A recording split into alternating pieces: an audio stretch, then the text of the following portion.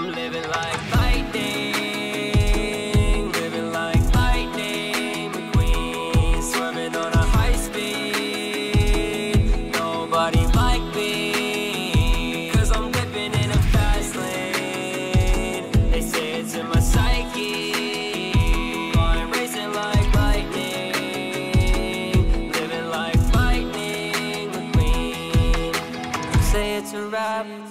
car crash on a boat. Say it's a rap like a car crash on a boat. R.I.P. Paul Walker, he was really living it though.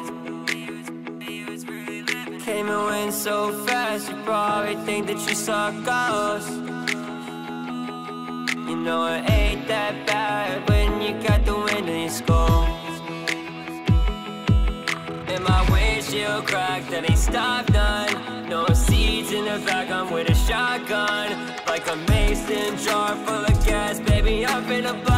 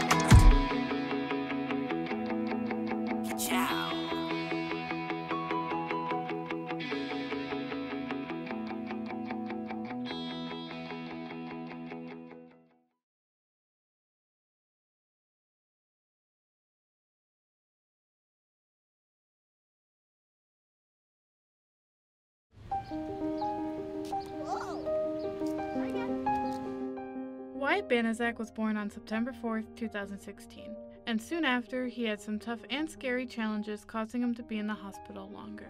Well, Wyatt was born prematurely. So when he was born, he was pretty quickly taken to the NICU, and um, they discovered that he had had some strokes when he was born, and they weren't sure about his breathing. So they took him pretty quickly to the to the NICU, and he he spent quite a quite a few weeks in the NICU, doing some OT and getting some extra services. While he was in the NICU, Wyatt wasn't able to suck when he was born, so he wasn't able to take in any nutrients. So he had to be so he had to have a feeding tube. For a while, he had a feeding tube until his dad was able to, to start to feed him. He never was able to feed with me, but his dad was able to feed him. Even after Wyatt was able to eat from a bottle, his troubles didn't end there. So um, Wyatt had his head surgery when he was about two months old. When they um, they discovered that he didn't have any soft spots, so then he needed to have what they called craniosynostosis surgery. and the surgery was, I think, about six hours long. And what they did was they basically just cut out a section of his skull so that he could, um, his skull could reform as it healed and he could have some soft spots so his brain could grow. After his surgery, then he had to wear a helmet for um, several months. One, to protect his skull, but two, to um, reshape his head. And he wore that for uh, probably, probably about a year. And now he's, he's doing well. His skull like hasn't quite healed perfectly, so he has had some. Um, he's going to have to have some plastic surgery in the future, and the doctors have told us that probably when he's about eight years old, he'll have to have another surgery to open up his skull again. Just a couple months later, Wyatt returned to the hospital for yet another surgery. When Wyatt was born, one of the ducts in his heart that usually closes right after birth hadn't closed. So, um, a couple months after he was born, then they decided to work on closing that. And he had catheter surgery to close the duct. And at first it didn't take very well, and a couple months later, though, they realized that the duct had closed with the catheter surgery. And now he's, he's doing great. He's doing really, really well. He's got a ton of energy, and he's doing super. Now that Wyatt has overcome his past surgeries, he will still need a lot of support. We had some genetic testing done with, with Wyatt, and we found out that he has um, a genetic disorder, and um, through that genetic disorder, we also found out that he has autism.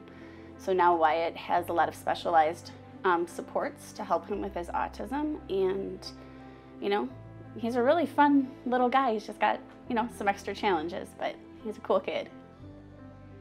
Wyatt receives a lot of family support, which has helped him a lot along the way. His social skills are a little different than what, say, a five year old that didn't have skull surgery and ADHD would have. So that, that kind of concerns me. Today's kids, I think, get much greater opportunity for developing who they are and where their strengths are, and then people working with them through their weaknesses than when I was at, in school. When I was in school, you just kind of had to follow. And if you were a little different, well, you just fell behind. It's not like that anymore, so he's given so many more opportunities. Uh, but whenever my mother-in-law is here and she sees all the great things that he's doing, she gets all excited because she says, oh, that's our miracle baby. Because she didn't expect with all of the issues that he had that he'd be able to walk and jump and do all the things a normal five-year-old kid does. Yeah, I have a billion to do. I need to do this all day. After seeing the progress Wyatt's made so far, we are excited to see where he goes in the future.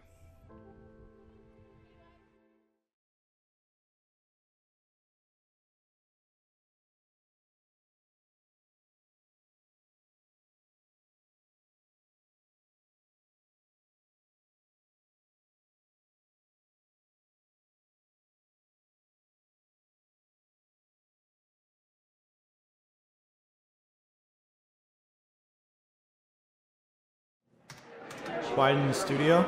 Stand by. Roll for record. 10, 10, slate, 9, 9, 8, 8, 7, 7, 6, 6, 5, 5, 4, 4, 3, 3, 2, 1. Uh, my name is Evan Waters. I am a producer here at Plum Media, so I do the budgeting and writing and uh, planning for productions. Basically started back in college. I interned here at Plum Media uh, the summer before my senior year of college. I think the biggest thing I've learned is how to communicate well um, in terms of keeping people up to date on things, email etiquette, uh, you know, covering all your bases with people you communicate with. I mean, that's the most important skill as a producer is being able to communicate both the message of your clients and what they're trying to say in their project, but also communicate with them in the planning and production.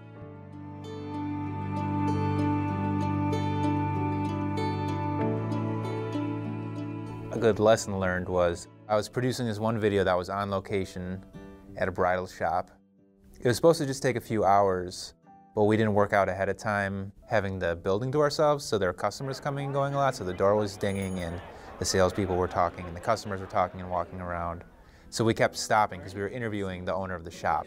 So it took longer, which wasn't the end of the world, but the problem was I forgot to schedule a lunch break. So my crew was pretty grumpy and hungry by the end of it because I didn't feed them. And so it harkens back to my film professor in college who said, good food, good mood, which is very true.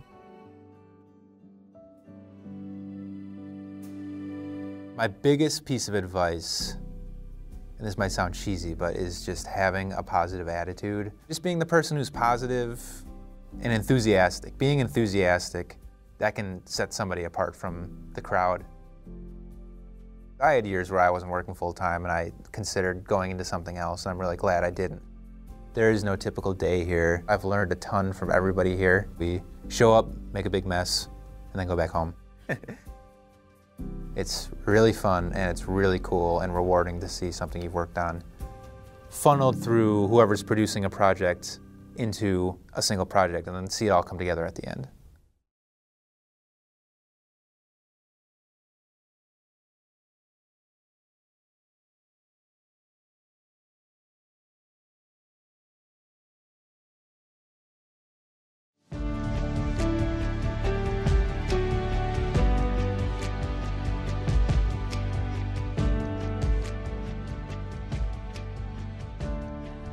This is Queer Talk Milwaukee, where we highlight LGBT voices, businesses, and community centers in the local area. Today, I met up with Brad Shilakowski, co founder and executive director of Courage MKE, to talk about his program and what they provide. So, my husband and I were foster parents uh, because we wanted to adopt our own a daughter together because I came to a relationship with kids already. So, in that time, they knew that our daughter could share a room with someone, so they started sending us teenage girls identified as LGBT. And their stories of torment and rejection and bullying from group homes and shelters just is really what inspired us to start this. What kind of things does the center provide? We provide housing for up to five kids a night. They're aged 12 to 17. Uh, they all come to us through the social welfare system in some way, shape, or form, whether that's foster care or juvenile justice. Um, if a child comes to us when they're 12, they can stay with us until they age out. Um, there's no set limit for as long. I mean, as long as they're following the rules and being active participants in the house as a family here, um, they can stay. Um, and then, yeah, the other question I had is why did you want to be a part of it? But since you created is there anything else you just wanted to add to like the importance of it, or? Um, it's I would just say the importance of it is because when you look at even just the foster care system, most people want the little babies, right? They want the little kids. Um, these teens or young or preteens that are in our house right now, they've probably been in the system, most of them, most of their life. Um, so why it's important to me is because these kids are not in their own home by no fault of their own and I want we we all here want to give them that opportunity to have somewhat of a normal life. After hearing Brad talk about how LGBT youth tend to struggle in middle and high school, I started to look into the public education system and talking with Mandy Sadi about her education experience. Uh, what was your education like? Like, did you have like a GSA at school or? So, a really funny story. We did have a GSA. I never wound up joining it, and then it got switched over to I forget what other program it was that just was like. The, I think it was like the diversity committee or something like that. So they kind of were like, okay, well, we need to be more inclusive, which was fine and all, but I never wound up joining it. I considered at some points, and then I was kind of like, nah, so then, did your school do like the day of silence and all that, or? Uh, there were, I think, one year there were a couple kids that did it, um, but it wasn't like, I don't think organized at all. It was just kids that knew about it and just did day of silence. So then, in your general education, did you have anything, any, uh, like education on any of it, or? On just like any sort of LGBTQ yeah. culture, history, any, not specifically like you know like there were like certain like bits and pieces that would come up, but Nothing like really in specific. You didn't have like gay 101? No, no, no, no, no. I wish we would have had gay 101. I would have taken that class and then I'd have made it a rule. I'd have gone to the principal and been like, hey, anybody says anything homophobic has to take this class. After talking to Mandy, I realized I also didn't really get taught LGBT history in school and met up with Liam Janae, who shared a similar experience. What was your education like? Were you taught like queer culture or history or We learned a little bit about Stonewall, but like not a whole lot. There is not a lot of LGBTQ education in public schools. I think we did in AP Human Geography. We did a little bit on it. That was freshman year, but other than that, I, I learned all of that on my own. Do you ever participate in the Day of Silence? Or is that a thing at your school? Yeah, we just had that recently. On the Day of Silence, they handed out like oh, what color ribbons? Aren't they purple? I think they're purple ribbons. I think so. We got pins, so they said different okay. things every year. Yeah, but they handed those out to everybody, and we did have. I don't. We didn't do like a school-wide thing, but having the ribbons and having people support that day of silence for a reason is good. Yeah, I'm, our, our school did. They never educated us as to why we did that. at all. Our school, yeah, our school is basically just like, hey, this is to support this. Yeah. It Exa- wasn't really why. And I guess I just kind of assumed it was t- like in solidarity of the people who couldn't come out. The Day of Silence is a national student led demonstration where LGBT students and allies take a vow of silence to protest the harmful effects of harassment and discrimination of LGBTQ youth in schools. The Day of Silence is typically run by a GSA or a gay straight alliance in middle or high school. The reason it's important to pay attention to the education system regarding to LGBT culture and history is that there's a lot of people who are figuring out who they are at younger ages. For more background, Mandy and Liam also shared their personal discovery. So basically, kind of realized when I was like 12 I had a crush on my best friend, and I was like, uh oh, this is weird. She's a girl. What do I do? Gay panic. I kind of realized, oh, you know what? Maybe I just kind of like girls sometimes. And I went with like the bi label as an identifier at that point because I was like, that makes sense. I like guys, I like girls. Didn't know much more than that. Kind of started coming out to some friends who all took it well. Um, come out to one of my family members who's kind of like, hey, you know, this might just be a phase. We all had that moment in high school and middle school, and I'm like, I, I still think it's a little suspicious, but that's just me. Uh, but decided to come out once and for all as Pan in 2016 to my family. Um, they all took it really well. Um, my sister was like, I called it, I knew it. Since like pan can mean like different things for people, what does it mean to you? Like To me personally, Pan is just I don't care about gender. Like that doesn't really like matter to me. How you present, how you identify as gender-wise, has nothing to do with it. I care more about personality, and I find that to be pretty exact. There's certain things I like on anybody. Like when it comes to personality, you got to be funny. You know, you got to love animals, kind of like that sort of stuff.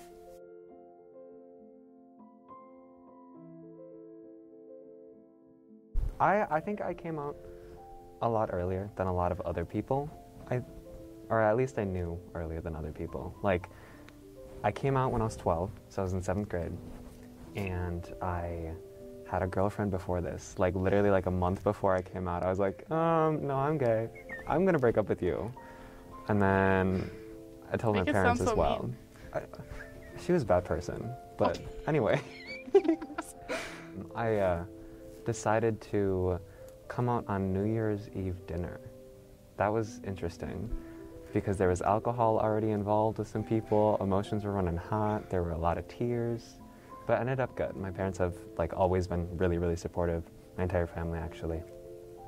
Did you have like a specific plan for that, or was there like any specific event mean- for for it, or was it just like, oh yeah, by the way? I wanted to be kind of theatric. I don't know why. I just felt like it, but it really didn't end well.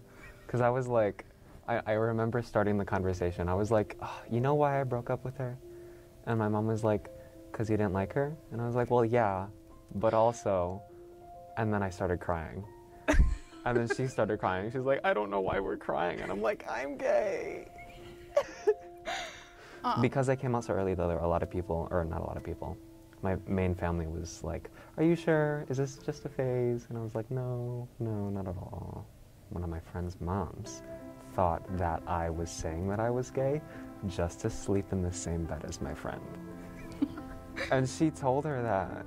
And I was, she was like, my friend was like, No, definitely not. Not true at all. He is very, very, very homosexual.